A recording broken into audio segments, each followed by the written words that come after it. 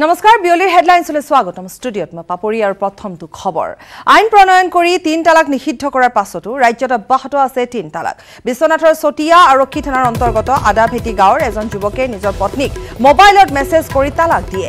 আদাভেটিৰ আজিজুৰ ৰহমান নামৰ যুৱকজনে গোৱালতলী গাঁৱৰ তাৰাবান বেগমক ডেৰ বছৰ পূৰ্বে বিয়া কৰাইছিল। কিন্তু বিয়াৰ পিছৰে পৰা পত্নীৰ ওপৰত চলিছিল অকথ্য নিৰ্যাতন। উপায়ন্তৰ হৈ পৰিয়ালৰ লোকে আৰক্ষীৰ সহায়ত ঘৰলৈ উভতাই আনে তাৰাবান বেগমক। চাৰি মাহ অন্তঃসত্ত্বা হৈ ঘৰলৈ উভতি অহা পত্নীৰ খবৰো নাৰাখিলে আজিজোৰে দুয়োৰে জীৱনলৈ এটি পুত্ৰ সন্তান আহিল যদিও সন্তানৰ মুখেই নাচালে আজিজোৰে তাৰ বিপৰীতে মোবাইলত তালাক তালাক তালাক বুলি মেছেজ লিখি সম্পৰ্ক ছেট কৰাৰ কথাহে পত্নীক জনালে আজিজোৰে চকুৰ পানীৰে বাট নেদেখা তাৰাবান বেগমে নৱজাতক শিশুক দি কোলাত লৈ এতিয়া ন্যায় বিচাৰি ঘূৰি ফুৰিছে। স্বাস্থ্য বিভাগৰ ওৱান জিৰ' এইট সেৱাৰ কৰ্মচাৰী আজিজুৰ ৰহমান বিশ্বনাথ চাৰিআলিত কৰ্মৰত আজিজুৰৰ বিৰুদ্ধে পত্নীয়ে বিশ্বনাথ চাৰিআলি আৰক্ষী থানাত এজাহাৰ দাখিল কৰিছে। ইতিমধ্যে ঘটনা সন্দৰ্ভত আমি জনাইছোৱে যে আৰক্ষী থানাত এজাহাৰ দাখিল কৰা হৈছে। আৰু মোবাইলত মেছেজ কৰি তালাক তালাক তালাক বুলি দিছে আজিজুৰ ৰহমান নামৰ এইজন লোকে। আৰু ইতিমধ্যে আমি জনাইছোৱে যে ডেৰ ডেৰ বছৰহে মাথো হৈছিল বিবাহৰ। আৰু ডেৰ বছৰ বিবাহৰ অন্তত এটি পুত্ৰ সন্তান হৈছিল কিন্তু তাতোকৈ তাৎপৰ্যপূৰ্ণ কথা যে আজিজুৰ ৰহমানে পুত্ৰৰ মুখেই নাচালে। আৰু পত্নীক এনেদৰে পত্নীৰ লগত যিহেতু কোনো ধৰণৰ সম্পৰ্ক ৰখা নাছিল আজিজুৰে আৰু এনেধৰণে মোবাইলত মেছেজ দি তালাক তালাক তালাক বুলি মোবাইলত মেছেজ যোগে জনালে। তাৰ পাছৰে পৰা এতিয়া পত্নী তাৰাবানৰ চকুৰে বাট নেদেখা অৱস্থা বৰ্তমান মাতৃৰ গৃহত আছে। আৰু বিশ্বনাথত এই ঘটনা সংঘটিত হৈছে। বিশ্বনাথত মোবাইলৰ মেছেজেৰে তালাক দিলে পত্নীক। এইটো মোদী চৰকাৰে নতুন আইন বনাইছে মোবাইল যোগে তালাক দিয়া বন্ধ কৰিছে। এতিয়া মোক মোবাইলত তালাক দি দিছে এতিয়া মই চৰকাৰৰ ওচৰত অনুমতি জনাই অনুৰোধ জনাইছোঁ মোক ন্যায় বিচাৰ কৰি দিব পাৰে। আমি আশা কৰিম যে এই আইনটো কেৱল কাগজে পত্ৰই থাকিব নে ভাৰতীয় মুছলিম মহিলাৰ ওপৰত যি অন্যায় হৈছে অন্যায়ৰ বিৰুদ্ধে আইনে এক ন্যায় দিয়াৰ ব্যৱস্থা গ্ৰহণ কৰিব তাক আমি আমচুৱে এই তিন তালাক বিলৰ পৰা আন এক ব্ৰেকিং নিউজ কভিড ৰোগীৰ মৃতদেহ সৎকাৰক লৈ কাছাৰৰ ইষ্টমপুৰ চাহ বাগিচাত উত্তপ্ত পৰিস্থিতি। পৰিস্থিতি কৰাত ব্যৰ্থ আৰক্ষী প্ৰশাসন। হাতে হাতে দা কোঠাৰ লৈ বাগিচা শ্ৰমিকসকলে আবদ্ধ কৰি ৰাখিলে প্ৰশাসনিক কৰ্মকৰ্তাসকলক। পৰিস্থিতি নিয়ন্ত্ৰণৰ বাবে ঘটনাস্থলীত চি আৰ পি এফ বাহিনী মোতায়েন কৰা হয়। উত্তেজিত শ্ৰমিকসকলৰ দাবী অৰ্ধ সৎকাৰ কৰা কৰোণা ৰোগীক বাগিচাৰ পৰা উঠাই লৈ যাব লাগে। উল্লেখ উল্লেখযোগ্য যে নিশা কৰোণাৰ মৃতদেহ কৰোণা আক্ৰান্ত লোকজনৰ মৃতদেহ কাছাৰ জিলা প্ৰশাসনে ইষ্টমপুৰ বাগিচাত লৈ আহি দাহ কৰিছিল। আৰু এই দাহ সৎকাৰ লৈ ৰাতিপুৱা বাগিচাৰ শ্ৰমিকসকলৰ মাজত উত্তেজিত পৰিস্থিতিৰ সৃষ্টি হয়। শ্ৰমিকৰ অভিযোগ প্ৰশাসনে কৰোণা ৰোগীক নিশা বাগিচাত অৰ্ধ দেহ সৎকাৰ কৰি মাটিত পুতি ৰাখিছে। অৰ্থাৎ যেনেধৰণে মৃতদেহ সৎকাৰ কৰিব লাগে ঠিক তেনেধৰণে নকৰি অৰ্ধভাৱে মৃতদেহ সৎকাৰ কৰে আৰু কৰি মাটিত পুতি ৰাখে। বাগিচাৰ লোকসকলে এনেধৰণে অভিযোগ উত্থাপন কৰিছে আৰু তাৰ পাছৰে পৰা শ্ৰমিকসকল উত্তেজিত হৈ পৰে ক্ষোভত পাতি পৰে আৰু হাতে হাতে দা কোঠাৰ লৈ এক উত্তেজনাপূৰ্ণ পৰিস্থিতিৰ সৃষ্টি কৰে। শ্ৰমিকসকলে আবদ্ধ কৰি ৰাখিলে প্ৰশাসনৰ কৰ্মকৰ্তাসকলকো এয়া আমি দেখুৱাই গৈছোঁ ঘটনাস্থলীত ইতিমধ্যে চি আৰ পি এফ বাহিনী মোতায়েন কৰা হৈছে শ্ৰমিকসকলৰ বিভিন্ন অভিযোগ আছে যে কৰোণাক্ৰান্ত এজন লোকৰ মৃতদেহক লৈ মৃতদেহ সৎকাৰক লৈ উত্তেজনাপূৰ্ণ পৰিস্থিতিৰ উদ্ভৱ হৈছে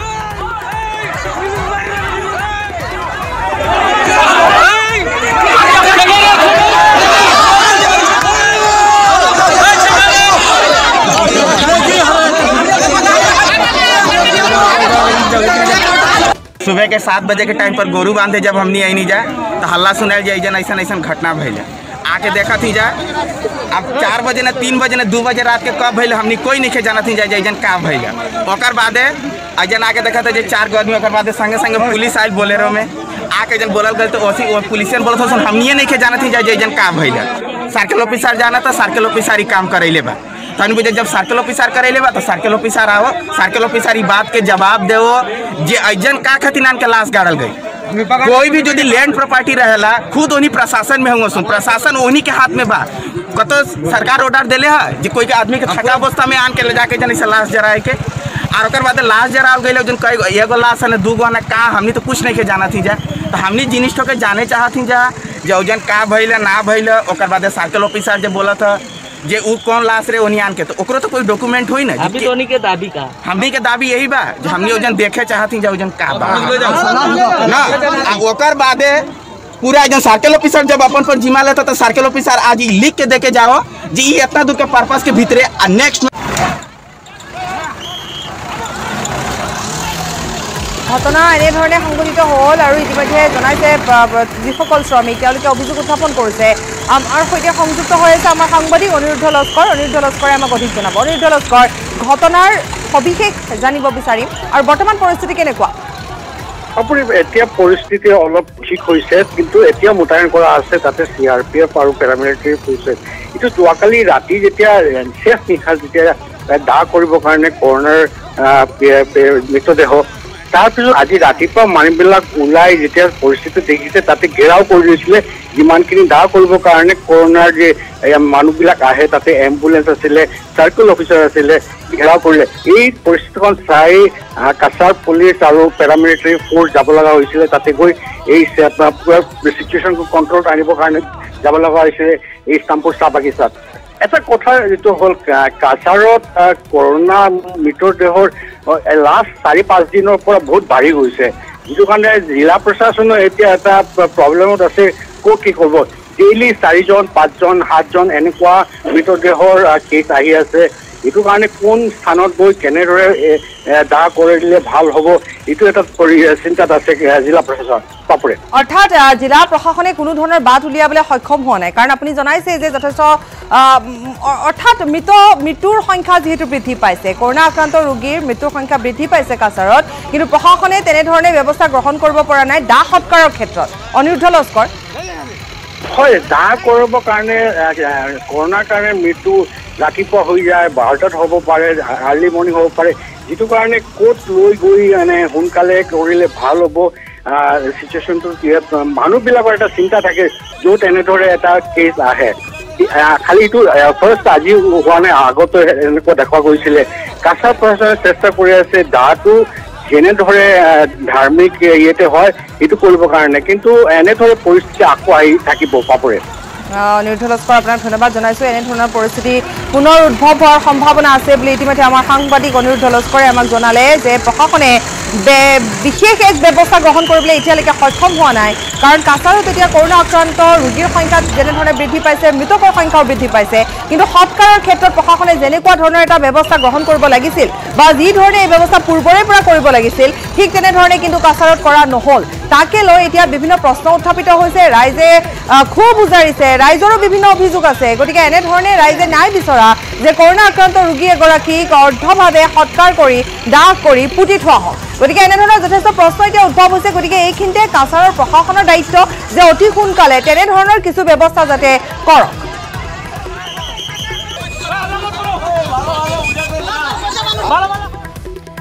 জি এম চি এইচৰ প্ৰেক্ষাগৃহত নিযুক্তি পত্ৰ বিতৰণী অনুষ্ঠান। লখিমপুৰ মেডিকেল কলেজৰ এশ সাতাৱন্নগৰাকী চিকিৎসকক নিযুক্তি দিয়া হৈছে।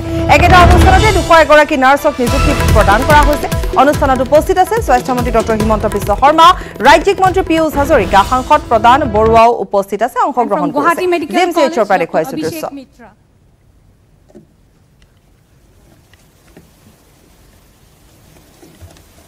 And some of, uh, few of the staff nurses, I shall take the name. May please come forward. Miss Korobi Kalita, আজি আমাৰ খুব আনন্দৰ দিন যে উত্তৰ অসমৰ ৰাইজক আমি লখিমপুৰ মেডিকেল কলেজ নিৰ্মাণ কৰাৰ প্ৰতিশ্ৰুতি দিছিলোঁ লখিমপুৰ মেডিকেল কলেজৰ নিৰ্মাণৰ কাম পঁচানব্বৈ শতাংশ সম্পূৰ্ণ হৈছে নৱেম্বৰৰ পোন্ধৰৰ পৰা ত্ৰিছ তাৰিখৰ ভিতৰত লখিমপুৰ মেডিকেল কলেজ আৰম্ভ কৰাৰ আমাৰ এক সপোন আছে। আজি আমি তাৰ প্ৰথম পদক্ষেপ হিচাপে লখিমপুৰ মেডিকেল কলেজৰ যিসকল নাৰ্ছ থাকিব দুশ ত্ৰিছগৰাকী নাৰ্ছক আমি নিযুক্তি দিলোঁ। ডক্তৰসকলৰো নিযুক্তিৰ প্ৰক্ৰিয়া ইতিমধ্যে আৰম্ভ হৈছে। সকলো ঠিকে ঠাকে থাকিলে নৱেম্বৰৰ পোন্ধৰৰ পৰা নৱেম্বৰৰ ত্ৰিছ তাৰিখৰ ভিতৰত লখিমপুৰ মেডিকেল কলেজে আনুষ্ঠানিকভাৱে আত্মপ্ৰকাশ কৰিব। আজি আমাৰ ডিফু আৰু লখিমপুৰ দুইখন মেডিকেল কলেজ আমাৰ চৰকাৰৰ দিনতে আমি সম্পূৰ্ণ কৰিবলৈ সক্ষম হ'লোঁ। ধুবুৰী নগাঁও তিনিচুকীয়া আৰু নলবাৰী মেডিকেল কলেজ নিৰ্মাণৰ কামো দ্ৰুতগতিত আগবাঢ়িছে। অক্টোবৰ মাহৰ বা নৱেম্বৰ মাহত অসমত আমি আৰু তিনিখন মেডিকেল কলেজ বিশ্বনাথ চাৰিআলি গোৱালপাৰা আৰু চৰাইদেউ তিনিখন মেডিকেল কলেজ নিৰ্মাণৰ আমি কাম কাজত আগবাঢ়িছোঁ। কৰিমগঞ্জতো যদি মাটি আমি পাই যাওঁ তেতিয়াহ'লে এই সময়ছোৱাৰ এই কালখণ্ডৰ ভিতৰতে আমি কৰিমগঞ্জতো মেডিকেল কলেজৰ নিৰ্মাণৰ কাম হাতত ল'ম। অসমৰ ৰাইজৰ বাবে আৰু এটা সুখৰ খবৰ যে অহা এক নৱেম্বৰৰ পৰা এইমছৰ এইমছ চাংচাৰি বা এইমছ গুৱাহাটীৰ একাডেমিক কোৰ্চ আৰম্ভ হ'ব। চিকিৎসা সেৱা অহা বছৰৰ পৰা আৰম্ভ হ'ব কিন্তু শৈক্ষিক বৰ্ষ এক নৱেম্বৰৰ পৰা আৰম্ভ হ'ব। ঠিক সেইধৰণে আজি আমাৰ M B B S pass কৰা ডেৰশ নতুন ডক্তৰক আমি আজি ৰুৱেল পষ্টিং বা ক'ভিড ডিউটিত আমি নিযুক্তি পত্ৰ দিলোঁ। তেওঁলোকে আজিৰ পৰা ক'ভিড ডিউটিত কাম আৰম্ভ কৰিব। খবৰ অব্যাহত ৰাখিম সময় বিৰতি। স্বাগতম বিৰতিৰ পাছত মন্ত্ৰী ডক্টৰ হিমন্ত বিশ্ব শৰ্মাক ৰাজনৈতিক টেৰৰিষ্ট আখ্যা কংগ্ৰেছ নেতা দুৰ্গা দাস বড়োৰ ছাত্ৰ অৱস্থাতে হিমন্ত বিশ্ব শৰ্মাই ছাত্ৰ সমাজক বিপথে পৰিচালিত কৰিছিল বুলি কটাক্ষ কংগ্ৰেছ নেতাগৰাকী। ইপিনে ক্ষমতা হেৰুওৱাৰ ভয়ত মন্ত্ৰী হিমন্ত বিশ্ব শৰ্মাই প্ৰলাপ বকিছে বুলিও কটাক্ষ কৰিলে এ আই ডি এফৰ নেতা আমিনুল ইছলামে। আনফালে কংগ্ৰেছ আৰু ইউ ডি এফৰ চৰকাৰ হলেও আজমল মুখ্যমন্ত্ৰী নহয় বুলিও স্পষ্ট কৰি দিলে এ আই ডি এফ নেতাগৰাকীয়ে। হিমন্ত বিশ্ব ৰাজনৈতিক টেৰৰিষ্ট হিমন্ত বিশ্ব। এইকাৰণেই তেওঁ আছুৰ পৰা খেদা খাইছে আপোনালোকে জানে। তেওঁ এ জি পিৰ লগত হানা পতকা আছিল। তেওঁ নিজে কেইবাটা কেছত জড়িত আছে। সেই মানুহজনৰ পৰা ভাল কথা কেতিয়াও আশা কৰিব নোৱাৰে। যেতিয়া মানুহ শংকিত হয় তেতিয়া প্ৰলাপ বকে। আৰু ইমান তৰল মন্তব্য দিয়ে কিহৰ মাংস খাব? তেখেতৰ নিচিনা নিচিনা এজন দক্ষ নেতা আমি দক্ষ বুলি ক'ম তেখেতক। আৰু তেখেতৰ নিচিনা এনেকৈ পাতল মন্তব্য এইটো কিন্তু তেখেতৰ মুখত শোভা নাপায়। শৰাইঘাটৰ শেষ ৰণীটো বুলি কৈছিলে। আজমলত এশ কিলোমিটাৰ ভিতৰত সোমাব নিদিয়ে এইবিলাক কথা ক'লে তৰল কথাবিলাক ক'লে সাধাৰণ মানুহে ভাল পায় ভোট দিয়ে। সেইকাৰণে আমি আগতীয়া কৈছোঁ আজমল মুখ্যমন্ত্ৰী নহয় আপোনালোকে চিন্তা কৰিব নালাগে। আমি স্পষ্ট কৰি দিম। দিছপুৰৰ শ্ৰীমন্ত শংকৰদেৱ নামঘৰত ৰঞ্জিত দাস উপস্থিত হৈছে। এতিয়া নিৰ্বাচন হলে বিজেপিয়ে চৌৰাশীখন আসন পাব। একৈছৰ নিৰ্বাচনত বিজেপিয়ে মিত্ৰজোঁটে পাব এশখন। আছুৱে নিৰ্বাচন খেলিলে বিজেপিৰ ভালহে হ'ব। মুখ্যমন্ত্ৰী কেন্দ্ৰিক বিতৰ্কৰ প্ৰাসংগিকতাই নাই। কৰ্মকৰ্তাক লৈ নিৰ্বাচনী ৰণনীতি প্ৰস্তুত কৰিছে বিজেপিয়ে। এয়া মন্তব্য ৰঞ্জিত কুমাৰ দাসৰ মন্তব্য। দিছপুৰৰ শ্ৰীমন্ত শংকৰদেৱ নামঘৰত উপস্থিত হয় ৰঞ্জিত দাস। এতিয়া নিৰ্বাচন হলে বিজেপিয়ে চৌৰাশীখন আসন লাভ কৰিব। আৰু একৈছৰ নিৰ্বাচনত বিজেপি মিত্ৰজোঁটে পাব এশখন। আছুৱে নিৰ্বাচন খেলিলে বিজেপিৰ ভাল হ'ব। মুখ্যমন্ত্ৰী কেন্দ্ৰিক বিতৰ্কৰ যি প্ৰসংগ উত্থাপন হৈ আছে তাৰ কোনো প্ৰাসংগিকতা নাই বুলি উল্লেখ কৰে ৰঞ্জিত দাসে। যেতিয়ালৈ অসমত স্বাভিমানী ভাৰতীয়সকল থাকিব যেতিয়ালৈ অসমত স্বাভিমানী অসমীয়াসকল থাকিব তেতিয়ালৈ ভাৰতীয় জনতা পাৰ্টীৰ ক্ষতি নহয় কোনো সমষ্টিতে ক্ষতি নহয়। আমাৰ ভাৰতীয় জনতা পাৰ্টীত মানে নিজে নিৰ্বাচন ক'ত অংশগ্ৰহণ কৰে সেই এখতিয়াৰটো কোনোগৰাকী ব্যক্তিৰ নাথাকে। কোনে নিৰ্বাচনত অংশগ্ৰহণ কৰিব কাক ক'ত টিকট দিব সেই অধিকাৰো ভাৰতীয় জনতা পাৰ্টীত কোনো ব্যক্তিৰ ওপৰত নাই। ৰাষ্ট্ৰীয় সমিতিয়ে ভাৰতীয় জনতা পাৰ্টীৰ যিহেতু টিকট প্ৰদান কৰে আৰু ৰাষ্ট্ৰীয় সমিতিয়ে যিটো তেওঁলোকে নিৰ্দেশ দিয়ে যিটো আজ্ঞা দিয়ে সেইটোৰ আধাৰতে প্ৰতিগৰাকী এশ ছাব্বিছজন ব্যক্তিয়ে তেওঁলোকে নিৰ্বাচনত অংশগ্ৰহণ কৰিব। আৰু এটা কথা হিমন্ত বিশ্ব শৰ্মা এটা কথা কৈছে যে কংগ্ৰেছে ত্ৰিছখন আসন পাব। যিহেতু আপোনালোকে কৈছে যে এশখন প্লাছ আপোনালোকৰ টাৰ্গেট আছে। এই ক্ষেত্ৰত কি ক'ব বিচাৰিব? যে তেওঁ যদি কৈছে ত্ৰিছখন আসন পাব থাকি গ'ল আপুনি যি চাই- থাকি গ'ল নব্বৈখন আসন থাকি গ'ল। তেওঁ কি ভাবি কৈছোঁ মই নাজানো কিন্তু ভাৰতীয় জনতা পাৰ্টীৰ আৰু মিত্ৰ দলৰ আমাৰ যি লক্ষ্য BJP plus equal to hundred plus এই যি লক্ষ্য এই লক্ষ্যত আমি উপনীত হ'ব পাৰিম। কাৰণ কিয় ভিতৰে ভিতৰে গাঁৱে ভূঞে চৰে নগৰ চহৰে নগৰে। বা চৰ অঞ্চলত কি পৰিৱেশ হৈ আছে সেই কথাষাৰ বহুতে নাজানে। নিশ্চিতভাৱে। আমি চৌৰাশীখনৰ আজিৰ দিনটো কিন্তু আমি লক্ষ্য ৰাখিছোঁ আমি এশ লক্ষ্য ৰাখিছোঁ। চৌৰাশীখন এতিয়ালৈ আমাৰ মিত্ৰ দলৰ নিশ্চিতভাৱে আমি আজিৰ দিনত যদি নিৰ্বাচন হয় আমি পাম কৰিম আজিৰ দিনত নিৰ্বাচন হ'লে কিন্তু লক্ষ্যত আমি ৰাখিছোঁ যাতে হাণ্ড্ৰেড প্লাছ যাতে হয় যাতে। কোনোবাই ৰাজনৈতিক দল খুলিলে আমাৰ অভিনন্দন জনাইছোঁ শুভেচ্ছা জনাইছোঁ গণতন্ত্ৰত এই প্ৰক্ৰিয়া আছেগৈ কিন্তু এইটোৰ কাৰণে ভাৰতীয় জনতা পাৰ্টীৰ এটা ভোটৰ ক্ষতি নহয়গৈ। বঙাইগাঁৱত কভিড নাইণ্টিনত আক্ৰান্ত হৈ মৃত্যু হোৱা লোকৰ সৎকাৰত বাধা। উত্তৰ মাজগাঁওস্থিত শ্মশানত মৃতদেহ সৎকাৰৰ বিৰোধ কৰি নিশা স্থানীয় লোক ওলাই আহি প্ৰতিবাদ সাব্যস্ত কৰে। স্থানীয় ৰাইজৰ অজ্ঞাতে প্ৰশাসনে মৃতদেহটো সৎকাৰ কৰা বুলি জানিব পাৰি ক্ষোভিত হৈ পৰে একাংশ লোক। অৱশ্যে স্থানীয় ৰাইজৰ প্ৰতিবাদৰ মাজতে প্ৰশাসনে মৃতদেহটো সৎকাৰ কৰে। মৃতদেহ সৎকাৰক লৈ অসন্তুষ্ট লোকসকলে শ্মশানখন চেনিটাইজ কৰাৰো দাবী উত্থাপন কৰে। নিশাৰ ভাগতে এই উত্তেজিত পৰিস্থিতিৰ সৃষ্টি হয়। এতিয়া তাৰমানে আমি আলোচনা কৰিলোঁ যে তাৰমানে সেই জেগাখিনিৰ পৰা এই গোটেই ৰাস্তা চেনিটাইজাৰ মাৰি দিব লাগে চেনিটাইজ চেনিটাইজ কৰি দিব লাগে। ফায়াৰ ব্ৰিগেডৰ পৰা গাড়ী আহি পাব্লিক হেল্থৰ পৰা তাৰমানে চি এছ চিৰ পৰা গাড়ী আনি পানী মাৰি দিব লাগে। চেনিটাইজ কৰাৰ পাছত তাৰমানে এইখিনি কৰিলে আমাৰ ধৰি লওক অলপমান ৰাইজে ভাল পাব।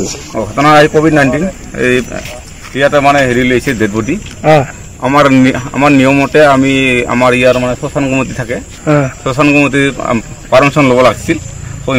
হেৰিৰ পৰা লোৱা নাই? লোৱা নাই। এই মেডিকেলৰ পৰা এনেকৈ মানে পাৰমিশ্যন নলা কৰি আহিছে। সেইকাৰণে আমি ৰাইজে প্ৰটেষ্ট কৰি আছোঁ। তেতিয়া এনেকুৱা দ্বিতীয়বাৰ নহয় আৰু এই- যিটো হৈছে এইটো আমাক পূৰা ক্লিয়াৰভাৱে মানে চাফা কৰি দিব লাগিব। চেনিটাইজ কৰিব লাগিব। চেনিটাইজাৰ কৰিব লাগিব। ফায়াৰ ফাইটাৰ গাড়ী আহি আজি মহাপুৰুষ শ্ৰীমন্ত শংকৰদেৱৰ চাৰিশ বাৱন্ন সংখ্যক তিৰুভাৱ তিথি। গুৰু বন্দনাৰে মুখৰিত ৰাজ্যৰ নামঘৰ সত্ৰ আৰু কীৰ্তন ঘৰসমূহ চাকি বন্তি জ্বলাই শ্ৰদ্ধা নিবেদন কৰাৰ লগতে নাম প্ৰসংগৰে গুৰুজনাক স্মৰণ কৰে ভকত বৈষ্ণৱসকলে। গুৰুজনাৰ অপূৰ্ব সৃষ্টি আৰু সত্তাক জীয়াই ৰখাৰ প্ৰয়াসেৰে উপজা ভূমি বৰদোৱাত পুৱাৰে পৰা নাম প্ৰসংগ আৰম্ভ কৰিছে ভকত বৈষ্ণৱসকলে। পোন্ধৰশ আঠষষ্ঠি খ্ৰীষ্টাব্দৰ আজিৰ দিনটোতে কোচবিহাৰৰ ভেলা মধুপুৰ সত্ৰত মহাপ্ৰয়াণ ঘটিছিল। অসমৰ সমাজ সাহিত্য সংস্কৃতিৰ এগৰাকী কাণ্ডাৰী সাংস্কৃতিক প্ৰমূল্যৰে এশৰণ হৰিনাম ধৰ্ম প্ৰচাৰ কৰি অসমীয়া সমাজ জীৱনক একত্ৰিত কৰিছিল মহাপুৰুষজনাই উজনি নামনি সৰ্বত্ৰ গুৰু বন্দনাৰে আজি মুখৰিত হৈ পৰিছে। Thank you.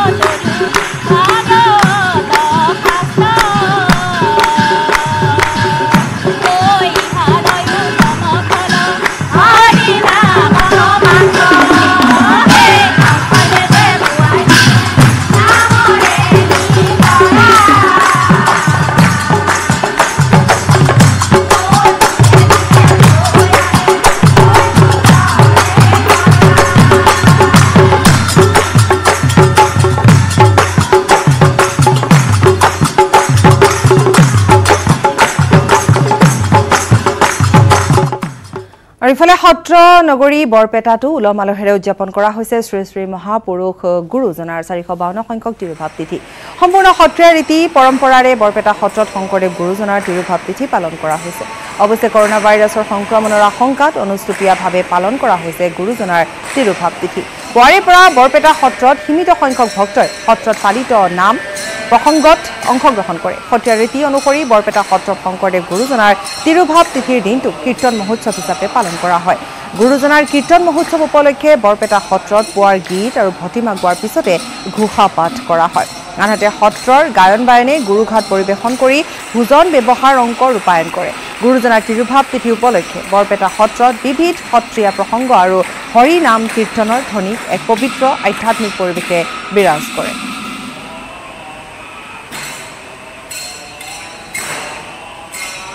নিৰঞ্জন দাসৰ এক প্ৰতিবেদন আগবঢ়াইছোঁ।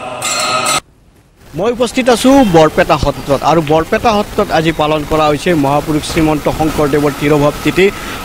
কীৰ্তন মহোৎসৱ হিচাপে পালন কৰা হয় বৰপেটা সত্ৰত তিৰোভাৱ তিথি আৰু সাতদিনীয়াকৈ পালন কৰা হয় বৰপেটা সত্ৰত মহাপুৰুষ শ্ৰীমন্ত শংকৰদেৱৰ তিৰোভাৱ তিথি। কিন্তু এইবেলি অনুষ্টুপীয়াকৈ পালন কৰা হৈছে। সেই পৰিৱেশটো দেখুৱাই আছোঁ। আজি বৰপেটা সত্ৰৰ এয়া দেখিবলৈ পাইছে। বৰপেটা সত্ৰত যথেষ্ট যিখিনি ভকত আছে তেওঁলোকে নাম কীৰ্তন কৰি আছে আৰু যি নিত্য নৈমিত্তিক নাম প্ৰসংগ হয় সেইখিনিয়ে অকল হৈ আছে। আৰু কৰোণাৰ কাৰণে যি আজি উৎসৱ হয় এক ডাঙৰ এটা উৎসৱ হয় বৰপেটা সত্ৰত আৰু ইয়াৰ সত্ৰৰ আশে পাশে তিনিদিন তিনিদিন আগৰ পৰাই বিভিন্ন ধৰণৰ কাৰ্যসূচী পালন কৰা হয় সোঁৱৰণি সভা আদিকে ধৰি বিভিন্ন ধৰণৰ কাৰ্যসূচী পালন কৰা হয়। কিন্তু এইবাৰ ভক্ত সীমিত সংখ্যক ভক্ত হৈছে আৰু এনেধৰণে বৰপেটা সত্ৰত পালন কৰি থকা হৈছে কীৰ্তন মহোৎসৱ মহাপুৰুষ শংকৰদেৱৰ কীৰ্তন মহোৎসৱ। মই আপোনাৰ পৰা জানিব বিচাৰিম এইবাৰ ভক্তৰ সংখ্যা কম।